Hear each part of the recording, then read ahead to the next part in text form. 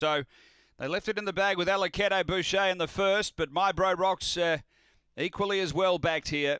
225 into 160. Light on. Ready to go.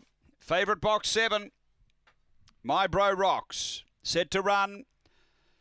Racing, my bro rocks. It's keen to get down to the inside. It's headed early. It's really keen to find the fence. It's back fourth, getting to the lead. Long Gully Bunny out by two and a half. Jabber Bolt and then Long Gully Fred. Uh, next is my bro rocks. A big gap away. Spring Cobra and right exit down the back. Long Gully Bunny runs along by five, getting to second. My bro rocks behind those. Jabber Bolt and Long Gully Fred up to the turn. Long Gully Bunny's led. Uh, running on hard is my bro rocks, but Long Gully Bunny's got the lead from my bro rocks and Long Gully Beats My Bro Rocks third. Might be Long Gully Fred, but Spring Cobra put a big dive in right on the post. Then Jabber Bolt and right exit was back at the tail end.